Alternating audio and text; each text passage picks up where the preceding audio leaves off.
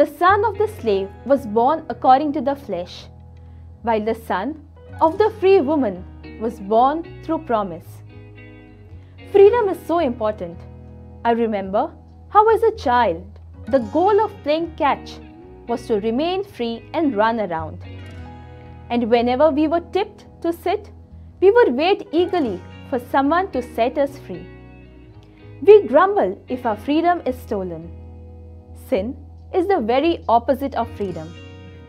Although it seems enticing, it soon shackles us to patterns of speech and behavior that rob us of our freedom as children of God. Ask any addict what begins as recreation soon becomes hell. Freedom in Christ is at the heart of Christianity. And when we earnestly call on God, He raises the poor and lifts the needy from the ash heap. All we must do is resolve never to submit to the yoke of slavery. Today, sin is rampant and evil overwhelming. This generation is an evil generation. Yet we have a choice. In baptism, we were made clean. Do we stay that way?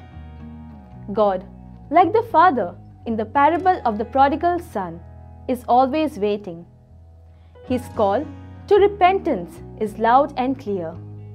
It is up to us how to respond. The church gives us many opportunities through the sacraments, etc., to return.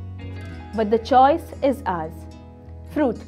Let us make an action plan today to throw off the yoke of slavery.